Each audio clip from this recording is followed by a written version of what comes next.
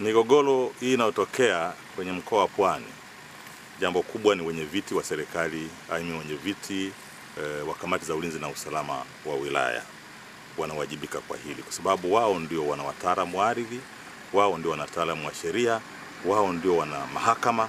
Kwa hiyo ni vizuri wakaishughulikia haya masuala ya migogoro ya ardhi kabla hajafikia watu kuvurugana, kabla hajafikia watu kupigana, kwa sababu jambo la msingi wa Tanzania lazima waelewe kwamba eh, kuna Watanzania hawa hawa wa Rufiji wanataka kula nyama, lakini pia hawa hawa wafugaji wanahitaji mazao. Kwa hiyo wakulima na wafugaji ni watu ambao wanategemeana. Kwa hiyo badala ya kugombana, badala ya kupigana, jambo la msingi hapa ni busara kutumika.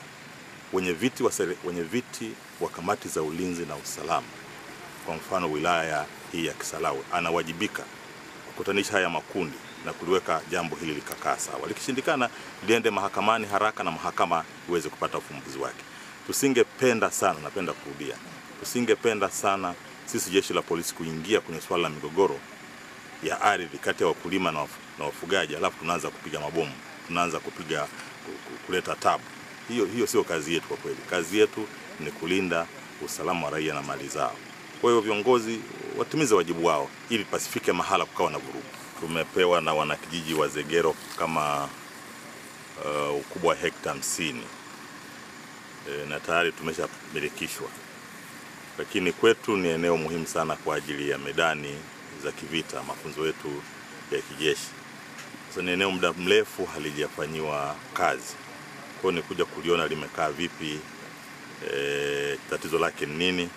Kwa hiyo tumekuta kuna askari wetu wanalinda hili eneo, wana kibanda kidogo kwa hiyo nimetoa maelekezo kwamba mpaka ikifika tarehe 25 mwezi wa, wa nane lazima hili eneo tuwe tumeshaliendeleza, kwa maana kwamba lazima tuwe tuna mahanga ya kutosha, lazima tuwe tuna kisima kizuri cha maji, kwa sababu ni maeneo ambayo ya mafunzo ya kijeshi, lazima askari wapate maji ya kutosha e, lakini pia e, nimetoa maelekezo kuhakikisha kwamba e, wakufunzi wanakuwepo wa kutosha. Kwa maana hiyo kwamba ni eneo ambalo tunataka litumie kwa wenzetu wa vikosi vya mbwa, mafunzo yao mbwa na farasi. Wenzetu wanaotoka mafunzo ya uofisa waje hapa, wanaotoka uofisa hapa Dar es Salaam, lakini pia wenzetu wa Field Force ambao ni makao makuu ndogo ya Field Force hapa Dar es Salaam, kwa sababu wana eneo lote la kufanyia mazoezi. Kwa hiyo ni eneo ambalo e, lipo la kimkakati kwa ajili ya mafunzo yetu ya kijeshi. Kwa hiyo e, nimekuja kulikagua na kutolea maelekezo, lakini jambo la msingi ni utekelezaji huu ambao tumesema tarehe 25 mwezi wa nane mwaka huu kabla ya uchaguzi tuwe tumeanza kulifanyia kazi kwa ajili ya kujenga uh, wa askari. Hivyo nilikuwa naomba jeshi la polisi ujio wake atupatie kituo kidogo cha polisi ambacho ni class B, lakini pia hao wenzetu wa mbwa na farasi wangepata usafiri wa gari ili tuweze kufika kwa haraka maeneo husika yanapotokea matukio. Kwa kweli tunawashukuru sana ujio wao, na tunamshukuru afande mkuu pande zilo kufika Zegero. Haijawahi kutokea kwenye miaka yote ya Zegero, ni kwa mara ya kwanza kumwona mkuu wa polisi Tanzania nzima kufika kwenye kijiji cha Zegero.